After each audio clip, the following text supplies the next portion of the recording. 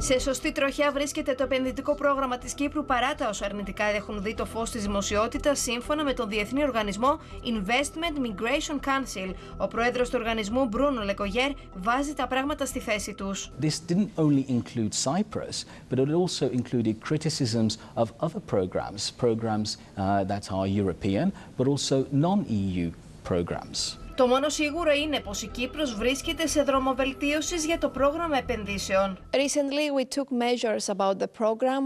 We introduced some uh, new criteria and terms.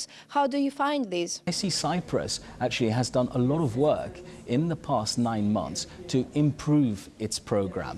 So it's a good thing, actually.